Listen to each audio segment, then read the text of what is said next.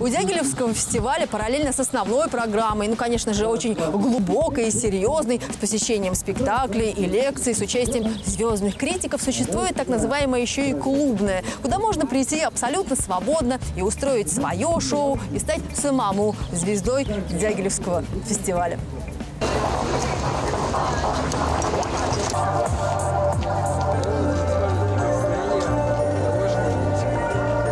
Сцена – это сквер около театра оперы и балета, и это спонтанный танец. Вы приносите сами любую музыку, делаете все, что хотите, танцуете и взаимодействуете со средой, с людьми, вовлекаете, все что угодно. Место, где можно пообщаться с другими людьми, посмотреть на творчество друг- других людей.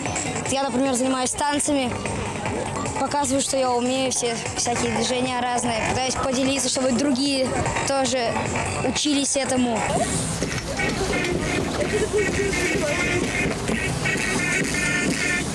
Я вообще из Челябинска, у нас э, нигде нету такой штуки. Ну, по крайней мере, я ни разу не встречала, что прям люди куда-то выходили, танцевали, потому что и правду иногда идешь, хочешь танцевать, а на тебя смотрят очень странно. А это уже ключевое событие фестиваля, состоявшееся накануне российская премьера хореографического спектакля «Не спать». Новая постановка режиссера Эллена Плателя отталкивается от творчества австрийского композитора Густава Малера, транслирующего настроение эпохи большого ускорения и разрушения, которая привела к Первой мировой. В соавторы Платель, как обычно, пригласил композитора Стивена Пренгельса. Тот перемешал фрагменты из симфонии Малера с африканскими ритуальными песнопениями и ритмами. Это наше предупреждение зрителям. Нельзя спать, то есть пребывать в состоянии равнодушия к тому, что творится вокруг нас. Мы живем в очень неспокойное время. Не зря спектакль отсылает нас к эпохе Первой мировой, когда человечество, самоутверждаясь, заигралось в саморазрушение. Сейчас такой шаг для нас может стать последним. Любит высокое небо и древние звезды поэт. Часто он пишет баллады, но редко он ходит в балет.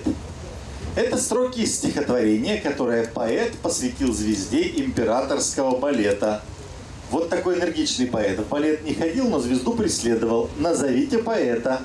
Вот так выглядит интеллектуальная кухня фестиваля. Музыкальная интеллектуальная игра Music IQ для аудитории Дягилевского, от музыкальной школы для взрослых виртуозы и клуба «Интеллектуальная кухня». Виртуозная возможность не дать себе заснуть, а заодно расширить ощущения от фестиваля, вложив в него свою игру.